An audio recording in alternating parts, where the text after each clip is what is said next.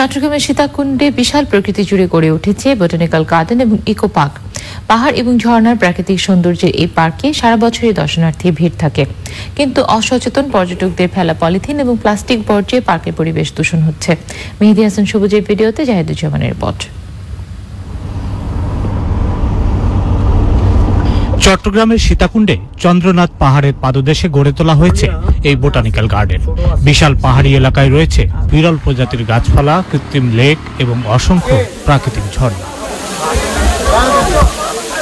বিশেষ করে সুপ্তধারা ও সহস্রধারা ঝর্ণা দর্শনার্থীদের আকর্ষণের কেন্দ্রবিন্দু। প্রাকৃতিক ঝর্ণা।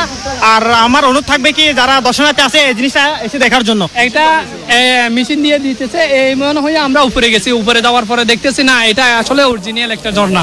পাহাড়ের উপরে যে প্রকৃতি আছে তার স্বাস্থ্য নষ্ট হওয়া এবং এখানে যে বৃক্ষরাজি আছে তার সংখ্যা কমতে থাকাই মূলত এই বিশাল ঝর্ণা সহস্র ধারা দিন দিন ক্ষীণ হয়ে যাচ্ছে।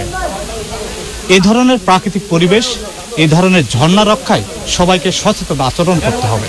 দর্শনার্থীদের অসচেতন আচরণেও নষ্ট হচ্ছে এখানকার প্রাকৃতিক পরিবেশ। যত্রতত্র ফেলে দিচ্ছে পলিথিন এবং প্লাস্টিক বর্জ্য।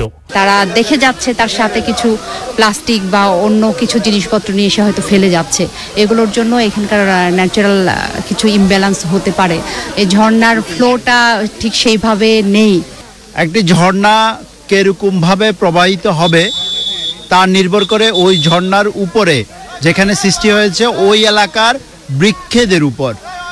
এবং যত ভালো এবং ড্যান্স বৃক্ষ থাকবে ওই বৃক্ষের কল্যাণে ওখানে প্রচুর পরিমাণ পানি ধরে রাখবে।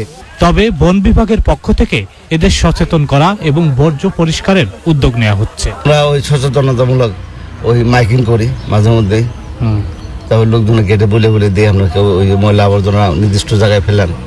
যেখানে সেখানে ময়লা আবর্জনা ফেলেন না। আমরা সচেতন আর যেগুলো ফেলে সেগুলো কি তুলে মাঝে মধ্যে আমরা উঠাই। প্রাকৃতিক ইকোসিস্টেমের জন্য ঝর্ণার গুরুত্ব অসীম। এর সৌন্দর্য উপভোগ করতে দর্শনার্থীদের দায়িত্বশীল আচরণ আশা করছেন সংশ্লিষ্টরা। Zahiduzzaman channel I Sitakunda Chattogram.